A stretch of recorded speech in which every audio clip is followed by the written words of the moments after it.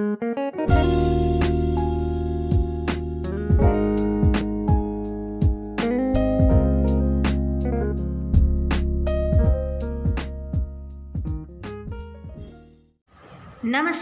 सभी को मेरा प्यार भरा नमस्कार।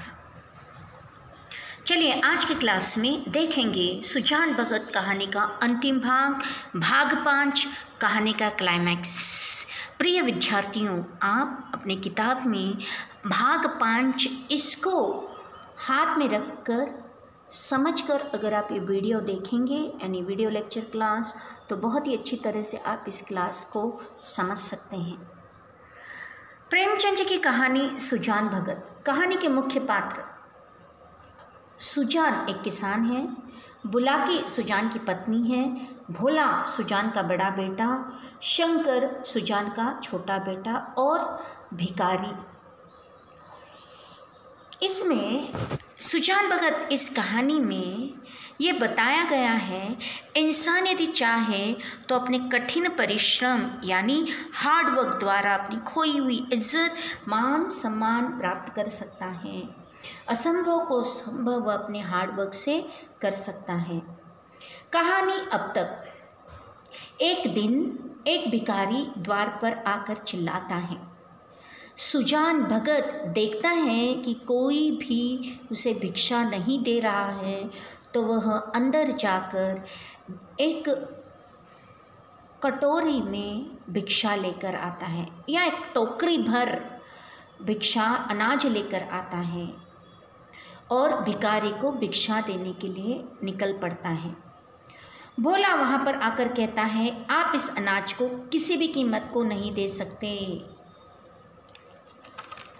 सुजान के हाथों से अनाज छीन लिया जाता है। इस घटना ने सुजान के मन को पूरी तरह से झंझोर कर रख दिया। सुजान पूरी तरह से टूट चुका था। आज इसने ये निर्णय लिया कि वह किसी भी कीमत पर अपनी खोई हुई प्रतिष्ठा, मान सम्मान फिर से प्राप्त करके ही रहेगा। अपने घर में खोई हुई इज़्ज़त प्रतिष्ठा प्राप्त करना ही है। आज उसने निर्णय लिया कि वह पहले की तरह खेतों में काम करना शुरू करेगा। कभी वह बैठता नहीं था। उसके शरीर से पसीना टपकता था। उसके चेहरे पर थोड़ी सी भी थकावट नहीं थी। उसने दिन रात एक करके खेतों में परिश्रम करना शुरू कर दिया। उसके खेतों में जाना देखकर सुजान भगत की इस नवीन उत्साह पर गाँव के टिकाए हुई लोग निंदा करने लगे। लोग कहने लगे, छूट गई भक्ति। इतने दिनों से तो भगत बना हुआ था। अब भक्ति छोड़ दी और क्या करने लगा? फिर खेतों में किसान के रूप में काम करने लगा। सारे गाँव के लोग उसकी टीका करते, निंदा करते, उसे क्रिटिसाइज़ करते, उसे देखकर हंसने लगे। सुजान ने किसी की बातों को अपने मन पर नहीं लिया। लोग कहने लगे, निकल गई भक्ति, बना हुआ था, माया में फंसा हुआ है। लोग उसको कई कई तरह से क्या करने लगे, नाम रखने लगे क्रिटिसाइज करने लगे। मगर भगत जी के द्वारा अब, भगत जी के द्वारा अब फिर साधु संत आसन जमाए देखे जाते उनके घर साधु संत आते, फिर भी उनको क्या किया जाता था? साधु संत आते कानूनगो आते मिनिस्टर्स आते, सभी के घर में उनकी पहले जैसे उनकी क्या होने लगी? सेवा होने लगी, उनका आदर सम्मान होने लगा, उनको खाना, पीना, रहना आदि की व्यवस्था कर सुजान उनकी सेवा करने लगा। जो गरीब लोग हैं, धार्मिक वृत्ति, यानी उसने किसान होने पर अपनी धार्मिक वृत्ति, ये जो भक्ति का, जो दान धर्म का जो काम है, उसने नहीं छोड़ा। भक्ति के मार्ग पर चलते चलते उसने खेतों में भी कड़ी परिश्रम करना शुरू कर दिया। उसका नतीजा, सुजान हर रोज़ खेतों में जाता। कड़ी परिश्रम करता। उसका नतीजा, उसकी खेती ने सोना उगल दिया। खेतों में सोना उगलना, उसकी कड़ी मेहनत से सारे गाँव के लोग देखते रह गए। गाँव में सभी किसानों से पहले सुजान खेतों में पहुँचता। दिन रात कड़ी मेहनत करता। उसका नतीजा, उसकी खेतों में सोना उगल दिया। यानी सोने जैसी फ़सल पिक कर खड़ी हुई। अनाज इतना अच्छा आ गया।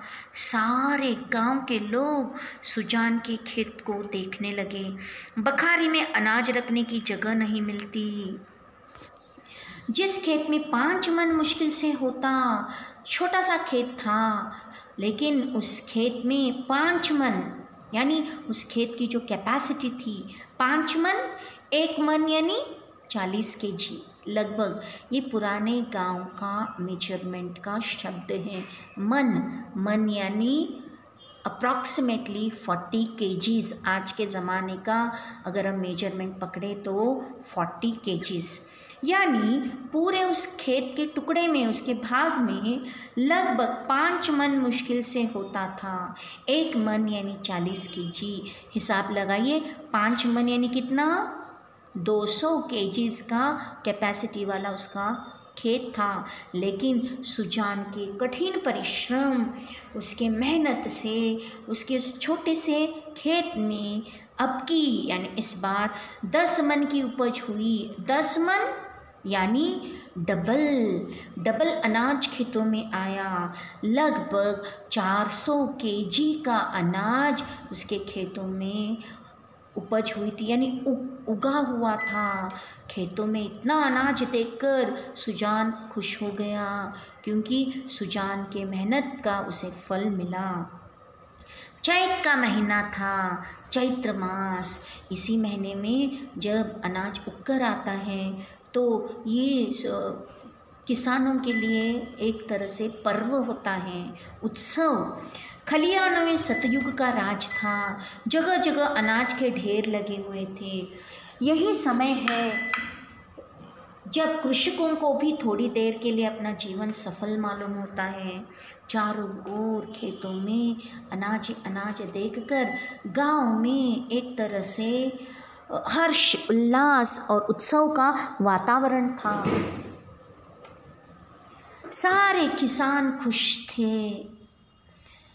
खेतों में चारों ओर फ़सल को देखकर सारे गाँव के लोग खुश थे। उसी तरह सुजान भगत के खेतों में भी अनाज की राशि राशि पड़ी थी। सुजान भगत टोकरे में अनाज भर भर कर देते थे और दोनों लड़के टोकरे लेकर घर में अनाज रखाते थे। तो सुजान के दोनों बेटे भोला और शंकर और बुलाकी देखते रह गए कि सुजान ने यह दिखा दिया कि कठिन परिश्रम द्वारा उसने अपने घर का अधिकार प्राप्त किया। सुजान के दोनों बेटे और पत्नी अनाज का ढेर देखकर आश्चर्यचकित रह गए। सुजान भगत टोकरे टोकरे में अनाज भर भर कर देता और दोनों लड़के भोला और शंकर टोकरे लेकर अनाज घर पर जाकर रखाते कितने ही भाट और भिक्षुक घेरे हुए थे। उनके खेतों के पास अनेक भिक्षुक, भाटे नहीं, साधु संत वहाँ पर आकर खड़े हुए थे। सुजान के यहाँ भिक्षा मांगने के लिए, क्योंकि गाँव में सभी को पता था, सुजान भगत एक ऐसा व्यक्ति है जिसके घर पर कोई भी जाए, वह खाली हाथ नहीं जाता। सुजान के आठ महीने के लगातार परिश्रम के बाद खेतों में अनाज आया हुआ था। सुजान ने सहसा देखा सहसा देखना, अचानक देखा। वही भिक्षुक जो आठ महीने पहले उनके घर आया था और वह उसे अनाज नहीं दे पाया था। उसने उस भिक्षुक को पहचान लिया और वह उसको भिक्षुक के पास जाता है और कहता है, क्यों बाबा? आज कहाँ कहाँ चक्कर लगा आए? भिक्षुक कहता है, अभी तो कहीं नहीं गया भगत जी। पहले तुम्हारे ही पास आया हूँ।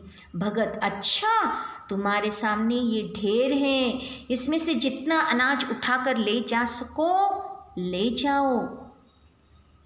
भिक्षुक ने क्षुब्ध नेत्रों से ढेर को देखकर कहा, जितना अपने हाथ से उठाकर दे दोगे, उतना ही ले लूँगा। भगत नहीं, तुमसे जितना उठ सके उठा लो। भिक्षुक के पास एक चादर थी। उसने कोई दस सेर अनाज उसमें भरा। दस सेर एक सेर यानी एक के जी लगभग उसने क्या किया? भिक्षुक ने अपने कांधे पर की चादर नीचे ज़मीन पर फैलाई और उस अनाज के ढेर में से उसने लगभग अप्रॉक्सीमेटली टेन केजीज अनाज उस चादर में भरा। उठाने लगा। उसने कोई दस शेर यानी टेन केजीज अनाज इसमें भरा और उठाने लगा। संकोच के मारे वो हेजिटेट करने लगा। भोला खड़ा है, शंकर खड़ा है, पत्नी बुलाकी खड़ी है। इतना अनाज देकर मुझे कुछ कह ना दे। डर के मारे अधिक भरने का साहस ना और भी वो लेना चाहता है चादर में। लेकिन आसपास सुजान का परि, परिवार के लोगों को देखकर वह डर जाता है। भगत उसके मन को मन का भाव समझकर आश्वासन देते हुए बोला बस इतना इतना तो एक बच्चा उठा ले जाएगा। यानी भगत ने समझ लिया कि ये संकोच कर रहा है। वो कहता है, भगत भिकारी को इतना ही, एक बच्चा तो ले जाएगा। तुम और ले लो, और ले लो। भिक्षुक ने भेला भोला की, और संदिग्ध नज़रों से देखकर कहा, मेरे लिए इतना ही बहुत है। भगत नहीं, तुम सुख चाहते हो। अभी और भरो। वो बोलता है डोंट हेजिटेट और भर लो, और भर लो।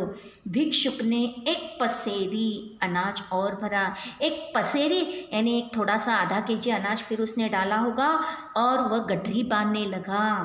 भगत उसकी और क्या देखते हो बाबा जी मैं जो कहता हूँ, वह करो। तुमसे जितना उठाया जा सके उठा लो। भिक्षुक डर रहा था कि कहीं उसने अनाज भर लिया और भोला ने गठरी न उठाने दी तो कितनी भद्द हो जाएगी और भिक्षुक को हंसने का अवसर मिल जाएगा। जो, सब यही कहेंगे कि भिक्षुक कितना लोभी है, यानी लालची है। उसे और अनाज भरने की हिम्मत ना पड़ी। भिक्षुक समझ लेता है कि अरे, मालिक तो कहेगा, और लो और लो, लेकिन मुझे अपने एक लिमिट में रहना चाहिए। तो उसने एक लगभग दस केजी तक अनाज भर लिया। तब सुजान भगत ने चादर लेकर उसमें अनाज भरी, भरा और गठरी बांधकर बोले, इसे उठा ले जाओ। यानी सुजान खुद भिकारी के पास आता है और उस, उसके चादर में और अनाज भरने लगता है, और अनाज भरने लगता है, और अनाज भरने लगता है, और अनाज भर, भरने लगता है। तो कितना अनाज भरा? सुजान ने भिक्षुक के चादर में। भिक्षुक, बाबा, इतना मुझसे उठ ना सकेगा। भगत, अरे, इतना भी नहीं उठ सकेगा। बहुत होगा तो मन भर। भला, ज़ोर तो लगाओ। प्यारे विद्यार्थियों, समझने की बात है, हम एक भिकारी को कितनी भिक्षा देते हैं? हम सब जानते हैं, लेकिन सुजान आज उस भिकारी को एक मन एक मन यानी लगभग चालीस केजी का अनाज उसके चादर में भरता है और उसको, उसकी गांठ मारता है उस चादर की। तो वो जो भिकारी है, जब वह गांठ उठाने लगता है, गठरी उठाने लगता है, तब उसे उठ नहीं पाती क्योंकि वह चालीस केजी की है और भिकारी बूढ़ा है। भिक्षुक ने गटरी को आजमाया। आजमाना उसने ट्राई किया। उठाने की कोशिश की। भारी थी बहुत वेट भरी गठरी थी। चालीस के जो था जगह से हिली भी नहीं। भोला आ, बोला भगत जी ये मुझसे न उठ सकेगी। भगत अच्छा बताओ किस गाँव में रहते हो? भिक्षुक ने कहा बड़ी दूर है भगत जी। अमोला का नाम तो आपने सुना होगा। भगत अच्छा तो तुम्हारा गाँव अमूला है? कोई बात नहीं, तुमसे ये गठरी नहीं उठाती ना तो मैं क्या करता हूँ, ये गठरी मेरे सिर पर लेकर तुम्हारे गाँव तक चलूँगा। तुम्हारे घर तक ये चालीस के जी का अनाज तुम्हारे घर तक पहुँचाकर मैं वापस चले आऊँगा। और वह गठरी अपने सिर पर उठाकर वह भिखारी के पीछे पीछे जाने लगता है। तो क्या अब भोला पिताजी को रोकेगा? बाप का माल है क्या? आप लुटाने पर चले हो? भिकारी को चालीस के जी तक अनाज देने लगे हो? बिल्कुल नहीं, क्योंकि सुजान ने यह दिखा दिया कि कठिन परिश्रम द्वारा उसने अपने घर का अधिकार प्राप्त किया। उसके बेटों को अपने व्यवहार पर शर्मिंदगी हुई। सुजान ने अपने बच्चों को यह एहसास दिलाया कि वह उस उसकी इज़्ज़त करे वरना इनकी खैर नहीं। भगत अच्छा आगे आगे, चलो, मैं पहुँचा दूँगा। भिकारी चालीस के जी तक भीख लेकर सुजान उसके घर तक भिकारी के पीछे पीछे जाने लगा। ये कहकर भगत ने ज़ोर लगाकर गठरी उठाई और सिर पर रखकर भिक्षु के पीछे हो लिए। देखने वाले भगत का ये पौरुष देखकर चकित हो गए। उन्हें क्या मालूम था कि भगत पर इस समय कौन सा नशा था। आठ महीने के निरंतर अविरल परिश्रम, यानी कंटिन्यूस हार्डवर्क का आज उन्हें फल मिला था। आज उन्होंने अपना खोया हुआ अधिकार क्या कर लिया था? प्राप्त कर लिया था। कैसे? उसी भिकारी को एक समय उसने खाली हाथ पहुँचाया था। उस भिकारी को उसने अपना भीख देकर अपने अधिकार को प्राप्त कर लिया था। बेटे और पत्नी की बोलती बंद कर दी थी। ऐसा एक परिश्रमी किसान था सुजान। सुजान ने आज अप, अपना खोया हुआ अधिकार फिर से प्राप्त कर लिया। वह अब फिर से घर का मालिक बन गया। पिता के कठिन परिश्रम के सामने हार्डवर्क के सामने भोला और शंकर हार गए। भोला सिर झुकाए खड़ा था। उसे कुछ बोलने का हौसला न हुआ। वृद्ध पिता ने उसे परास्त कर दिया था। परास्त कर दिया? हार हरा दिया था। तो इस तरह से हम देखते हैं इस कहानी में इस तरह से हम देखते हैं इस कहानी में। सुजान भगत कहानी ग्राम्य जीवन के परिवेश से संबंधित है। किसान सुजान के सुजान भगत बनने के बाद गाँव में उसकी प्रतिष्ठा बढ़ जाती है, लेकिन अपने ही घर में उसका अनादर होता है। पुत्र और पत्नी द्वारा उपेक्षित भगत अत्यधिक परिश्रम कर ऐसे फ़सल उगाता है कि बखारी में अनाज रखने की जगह नहीं मिलती। इस तरह वह अपना खोया हुआ अधिकार फिर प्राप्त कर, करता है। कठिन परिश्रम करने से ही मानव को धन, दौलत, मान, मर्यादा आदि प्राप्त होती है।